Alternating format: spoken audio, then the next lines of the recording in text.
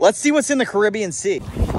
In my hand right now is a Hawaiian sling, and you pretty much take that for any fish, crabs, or lobsters that you want to catch. Here in the hole, we saw a big crab from the top, so pulling them out. We're definitely going to be eating that later. This is called a clinging crab or a spider crab, whatever you want to call it. They're delicious. Next, on the bottom of the ocean, we saw like a 10-foot shark. These are nurse sharks, so they're kind of like the puppies of the sea. And then if you keep looking to your left, you're going to see like six of them cuddling. Their diet is mainly lobsters, so in the areas that you see a bunch of them, it's going to be really hard to find the lobsters because they have this like radar pretty much that will take them right to the shellfish that they want to eat. It's very hard to compete with these guys as predators. Laying here in the grass, we're going to see a big queen conch. These guys are beautiful, also very good to eat. I'm going to be eating this later. In the distance here, there are a school of barracuda, and they're pretty hard to shoot because they'll just run forever, so we didn't really give them a shot. And here you see a lionfish, which is an invasive species, so I got my instructor to shoot him, got him out of the water. We're going to be